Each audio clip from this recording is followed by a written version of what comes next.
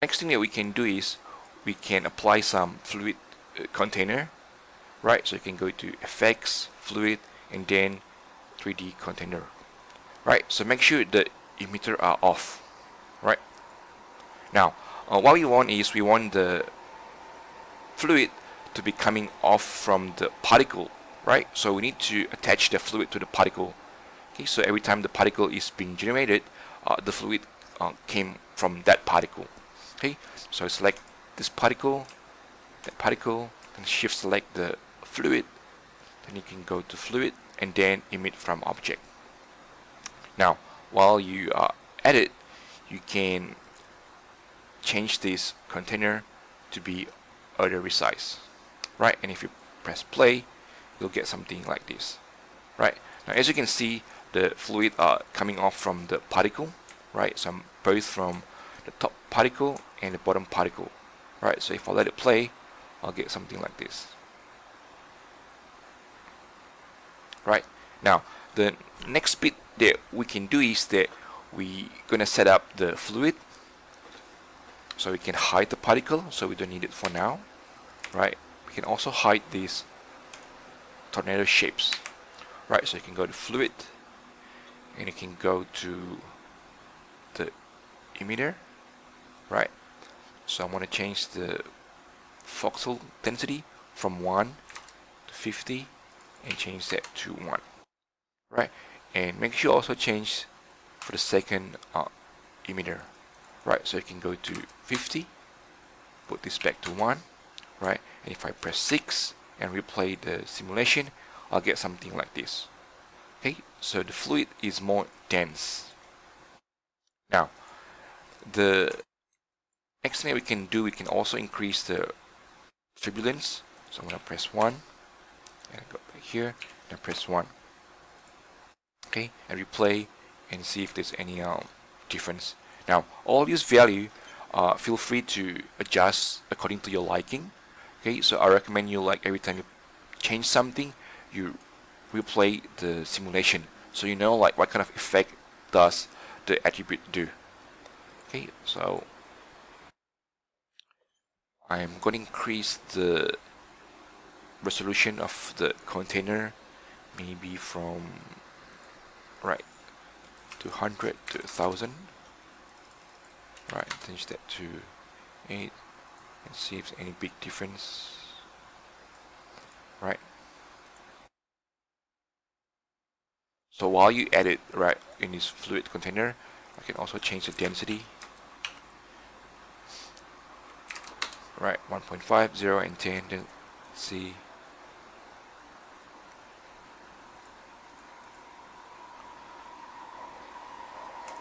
okay now um, I'm gonna go back to the particle so I'm gonna hide the fluid right?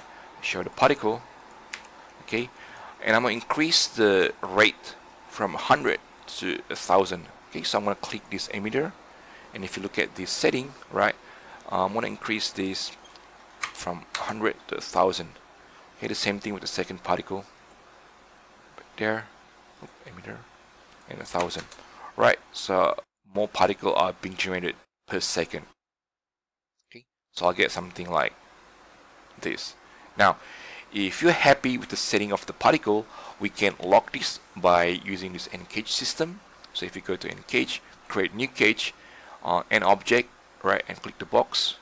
So what it means like Maya will try to create the simulation and record it to the hard drive which means you don't have to resimulate every time you press play this.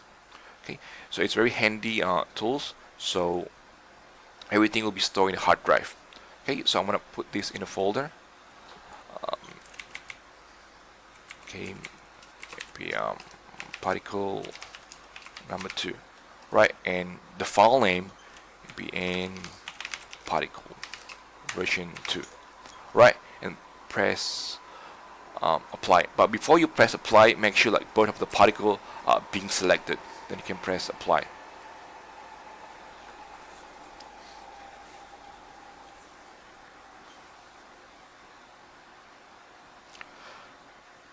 So another good thing like if you're using Encage is that since your simulation are being stored in a hard drive, Maya don't need that much calculation when you press play. Okay, you just need to load the data from the hard drive, which is pretty uh, handy and it's easy on your machine.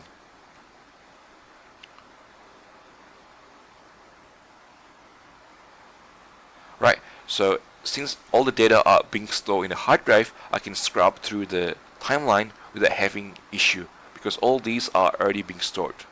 Right? Okay, so I'm to hide the particle and show the fluid. Right, and I'll get something like this. Okay, so I'm to go to my fluid emitter and I'm going to apply the max distance. Do the same thing with the other one.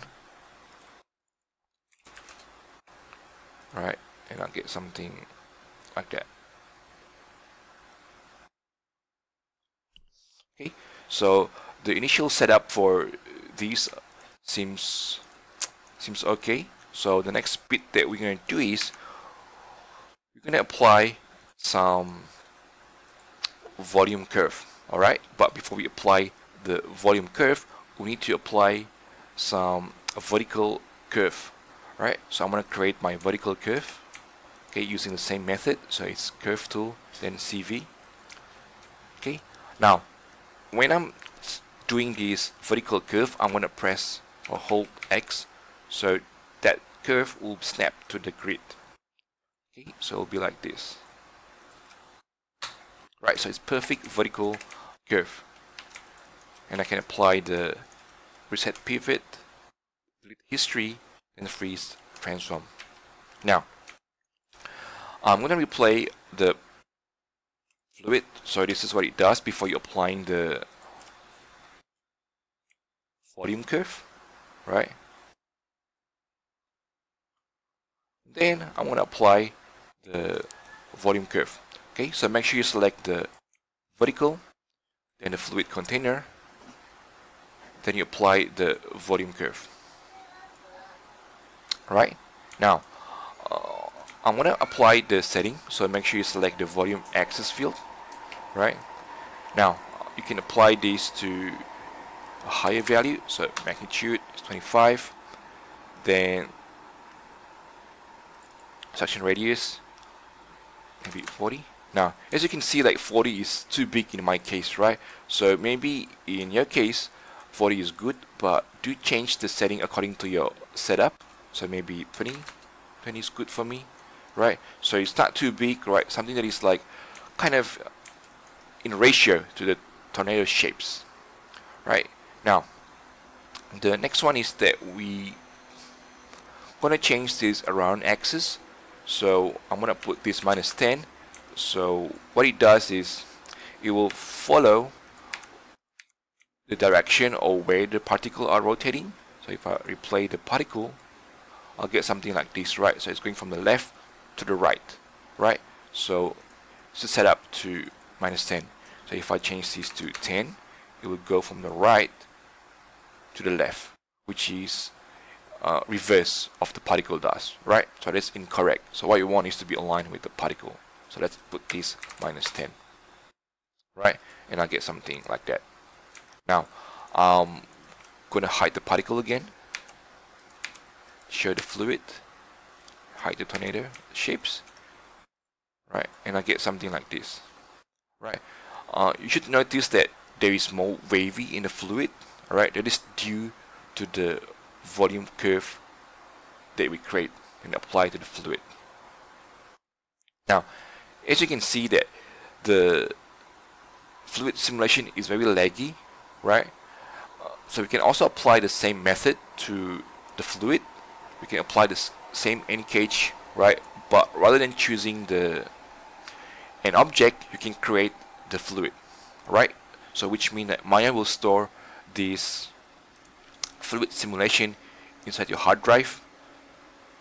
I'm gonna stop this right so that way it does not need to replay or resimulate things.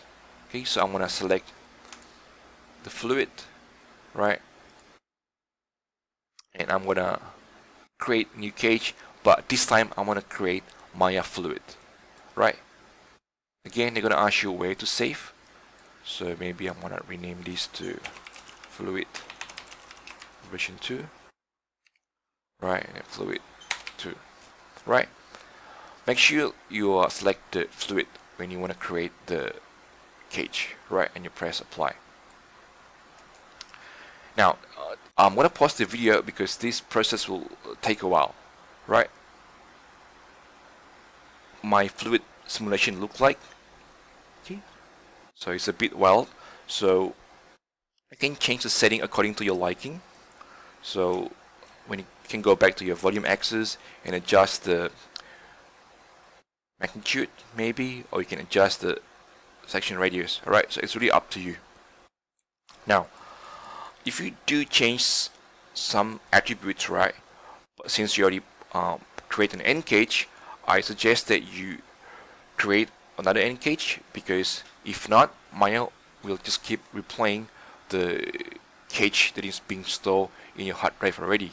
Okay? So if you do any adjustment like uh, increase this or reduce then you have to uh, create another fluid.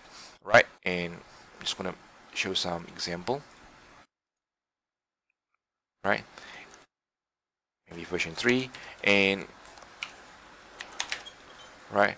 And Maya's gonna ask you like do you want to add and blend or replace? I usually click replace because I'm just yeah gonna create thing from scratch. Okay? So I'm gonna stop the video for now. And the next bit is we can put some shading and color to the tornado